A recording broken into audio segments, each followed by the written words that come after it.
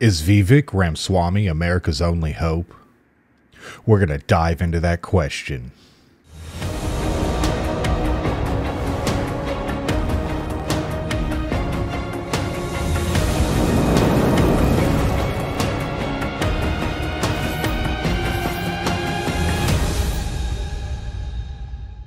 Hey everyone, thanks for joining me. I'm Reborn Russell.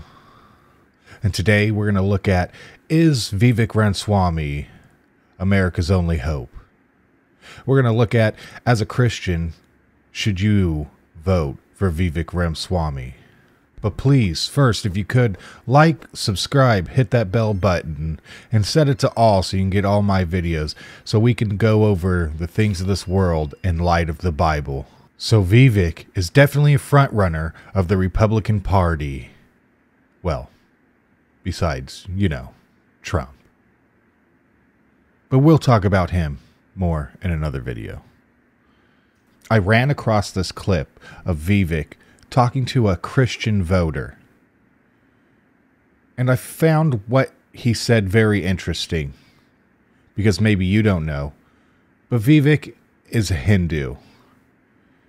He likes to use a lot of biblical allegories in his speeches, and he'll say things that are Bible related, but he doesn't actually believe in the Christian Bible.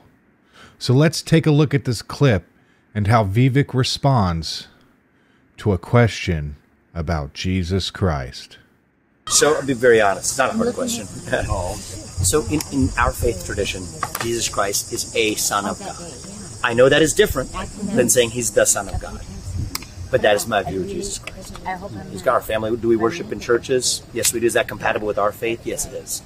One true God in many forms. So that's different, and I understand that. That is different. The only way to heaven is through Jesus Christ. I think, I think that that is the path, that is a path to heaven, is the way we look at it. But belief in God is what we say. Belief in the one true God. That's, that's the way I look at it. Wow. So, what did you think of that video? Please leave your comments below. Let me know what you thought. What do I think? I think it's pretty funny that he accidentally said the path instead of a path, which he corrected himself on because Jesus Christ is the path. But that's not what Vivek believes because he is a Hindu and he believes that Jesus Christ was just one path the way to God. It doesn't matter if you're Jewish, Islamic, Buddhist, or Christian, or Hindu as he is, that all paths lead to God.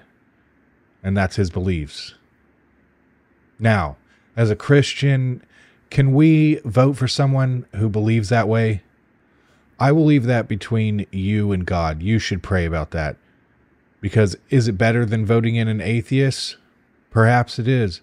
Is it better than voting in a Satanist? Definitely.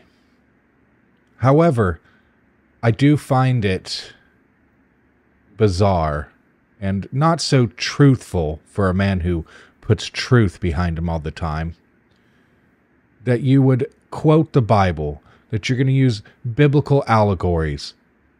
I mean, personally, I think it's a little deceptive to do that just to get votes because that's what he's ultimately doing. You know, let me know what you think in the comments below. As a Christian, is it okay for you to vote for Vivek Ramaswamy? Have we just come to a point where we're trying to vote for someone who's of the lesser evil? I mean, there are times when Vivek is completely truthful.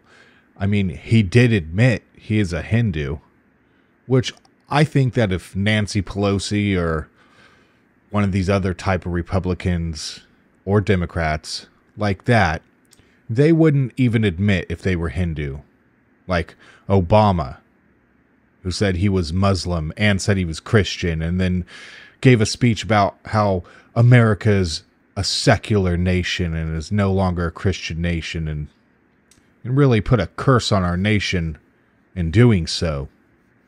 So is Vivek the only hope for America? No.